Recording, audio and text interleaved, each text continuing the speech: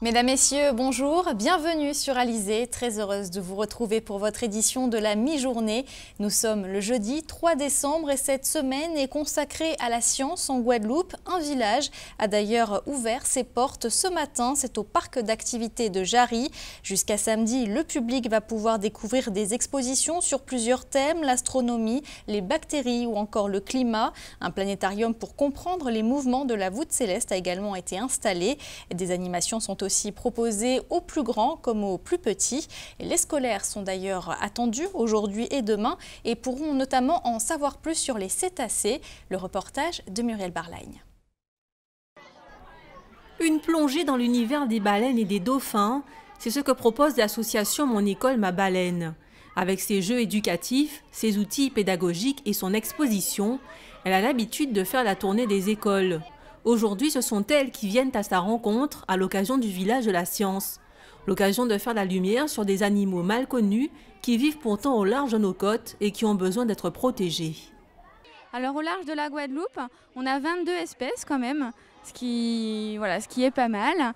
Et euh, donc euh, au niveau des cétacés, c'est contrairement à ce qu'on pense, c'est assez facile de pouvoir les observer. Par exemple, la baleine à bosse, quand elle vient, de décembre à mai, on peut la voir très facilement depuis la côte.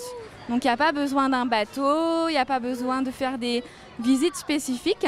Si on est attentif, on peut quand même tomber dessus euh, assez facilement. La méthode ludique appliquée par l'association semble porter ses fruits. Les plus jeunes ont déjà retenu des notions après quelques minutes passées sur le stand. Sur les cétacés, j'ai compris qu'ils doivent aller dans l'eau chaude pour réchauffer leur bébé et qu'ils doivent, doivent faire un régime des fois.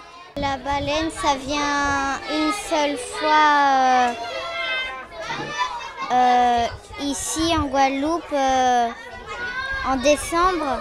la baleine, c'est un mammifère Près de 1000 élèves de tous les niveaux sont attendus sur ce village pour contribuer à développer leur culture scientifique. Culture déjà bien fournie sous nos cieux. Il faut savoir qu'en Guadeloupe aussi, nous avons le plus grand dispositif euh, de recherche à caractère scientifique au niveau des départements français d'Amérique, puisque nous, accueillons déjà euh, la, faculté euh, de sciences hein, que nous avons à Fouilleul, euh, nous accueillons aussi beaucoup d'instituts de recherche, euh, l'INRA, euh, le CIRAD, l'Institut Pasteur, le BRGM et, plein d'autres. Donc moi je pense vraiment que c'est quelque chose qui est inscrit dans, dans les consciences collectifs guadeloupéens et au quotidien, eh ben, nous, sommes, voilà, nous avons recours à la science à travers nos téléphones portables, à travers la télévision, qu'on se, se, sert un café le matin aussi, on fait de la chimie, donc tout ça c'est de la science au quotidien. Voilà. Pendant trois jours, il sera ainsi possible de découvrir différentes facettes des sciences. Le grand public est attendu samedi matin. Notez donc que ce village des sciences est gratuit. Il est donc ouvert jusqu'à demain, jusqu'à 20h30 et samedi de 9h à 12h30. C'est ce soir à la Gauloise à Bastère qu'aura lieu la veillée de Félix Rode. Ce ténor du barreau guadeloupéen s'est éteint mardi à l'âge de 90 ans. Il laisse derrière lui une très longue carrière tant sur le plan judiciaire, sportif que littéraire. Félix Rode avait également cofondé le CIPN, le comité euh, des peuples noirs avec euh, l'Ukrainette. L'Ukrainette qui était sur notre plateau hier soir. Je vous propose d'écouter ou de réécouter un extrait de son intervention. C'est quelqu'un que je respectais énormément et que je respecte toujours, c'est quelqu'un qui était un homme de conviction, mais un homme aussi de certitude. il a toujours affirmé qu'il était un, patriote, à savoir qu'il n'acceptait pas le statu quo, et qu'il estimait que notre vocation, notre destin était d'être libre dans une nation libre. Et nous sommes là pour poursuivre ce combat. Nous avions en 1992 à Paris, avec d'autres euh, Guadeloupéens, Martiniquais, Guyanais, Africains, créé le Comité international des peuples noirs, et nous avions ensemble mis en place, je dirais, euh, une devise en forme de programme qui s'appelait la devise des trois R. Premier R, reconnaissance de l'esclavage comme crime contre l'humanité. Le second, réparation, nous sommes à cette phase-là. Et le troisième, réconciliation, trois R. Et donc ce travail, il a pris, je dirais, euh, consistance, puisqu'aujourd'hui, la plupart des pays de la Caraïbe exigent réparation. Et nous sommes persuadés que ce qu'on va commencer depuis 1992 va continuer et va aboutir un jour. Et notez que les funérailles de Félix Rode auront lieu vendredi à la cathédrale de Basse-Terre. Un chiffre à présent, 6 millions d'euros. C'est ce qu'ont coûté les inondations il y a un mois en Martinique. Plus de 650 sinistres ont été enregistrés. Il s'agit notamment des dommages subis par des particuliers sur des voitures ou encore des maisons. Le 6 novembre dernier, de violentes averses étaient abattues sur les communes du François, Rivière-Pilote, Sainte-Anne, les Trois-Îlets ou encore le Vauclin. En tout, 12 communes de Martinique avaient reçu l'état de catastrophe naturelle. On va rester dans les chiffres. L'IEDOM, l'Institut d'émission des départements d'outre-mer, vient de publier un dossier sur le surendettement des ménages. Quels sont les enseignements à retenir? Quelle est la situation en Guadeloupe? Quelques pistes avec Richard Scott Tamar. L'étude analyse les données de l'année 2014. La tendance générale permet de dégager un profil type du surendetté domien.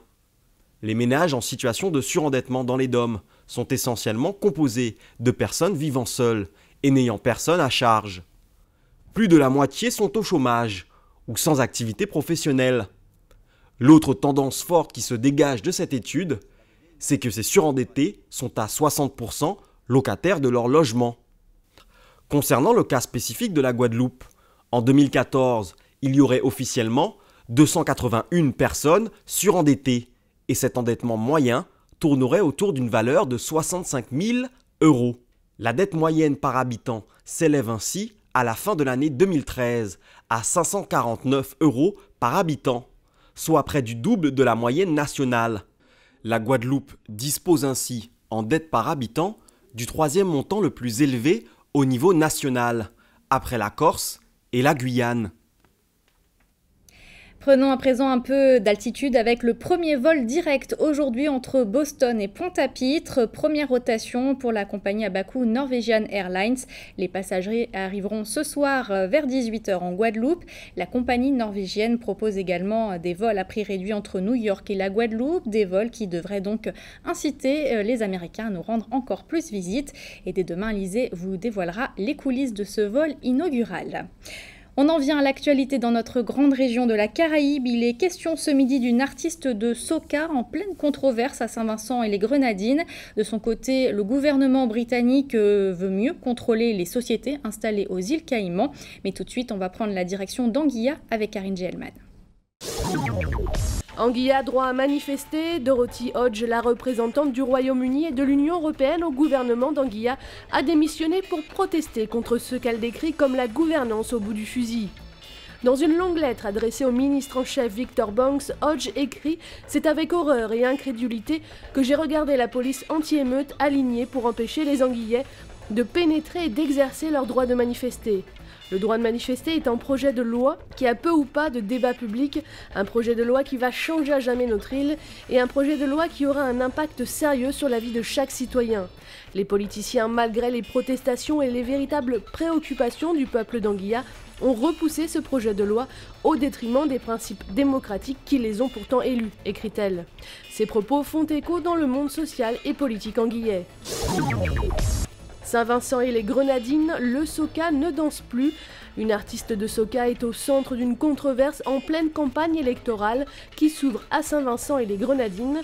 Les Vincentiens doivent se rendre aux urnes le 9 décembre pour choisir un nouveau gouvernement dans ce qui devrait être une élection très disputée. L'opposition du nouveau parti démocratique, le NPD, avait contracté avec l'artiste de soca, Faya Imperatrice, pour une prestation lors de leur rassemblement dans la ville centrale de Liward Barouiali il y a deux jours.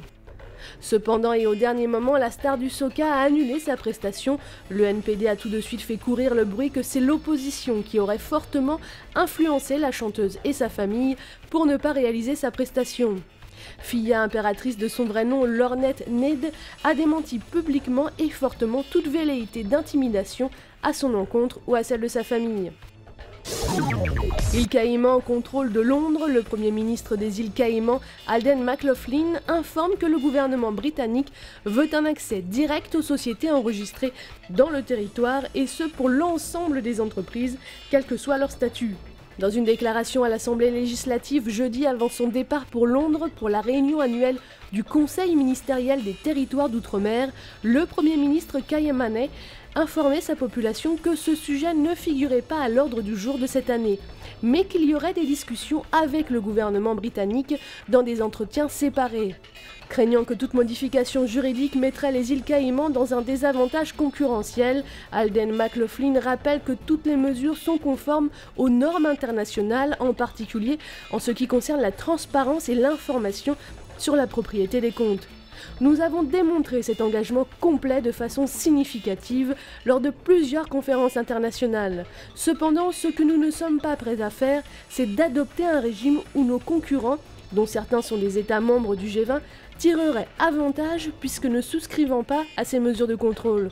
Nous allons créer un désavantage concurrentiel et provoquer ainsi la migration de nos entreprises vers les territoires concurrents, prévient ainsi le Premier ministre Caïmanais.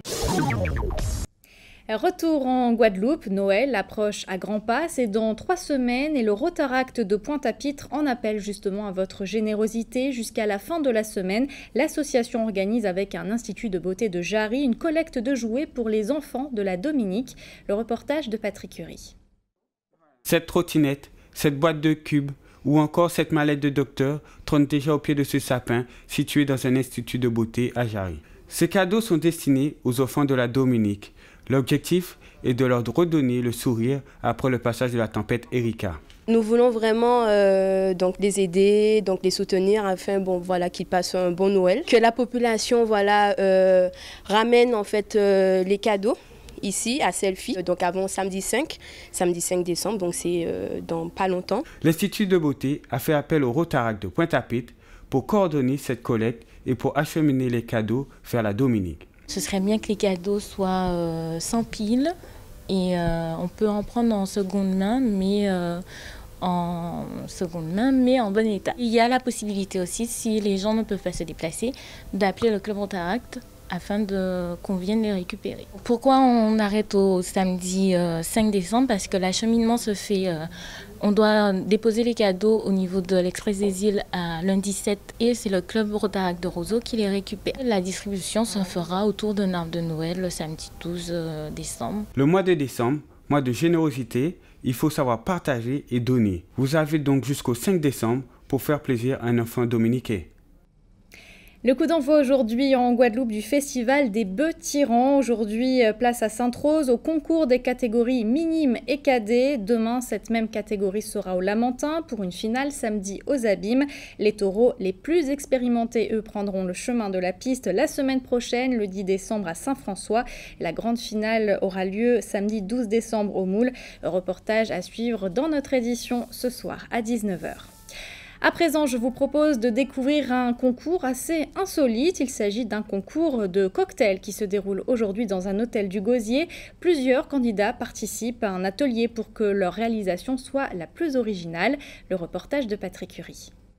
Avant de passer à la pratique, les 13 candidats au concours de bartender ont passé une sélection écrite. À l'issue, 8 candidats ont été sélectionnés comme Adeline, 18 ans, qui a décidé de se lancer dans l'aventure. Euh, je débute mes études euh, donc, euh, dans le bar, car c'est un métier qui m'a toujours attirée, malgré que j'ai fait un bac pro cuisine avant. J'ai décidé de me dériver vers le bar parce que j'aime bien le monde de la nuit, le contact avec le client, le, fait qu'on peut s'exprimer juste dans des verres, en fait, c'est quelque chose qui me plaît.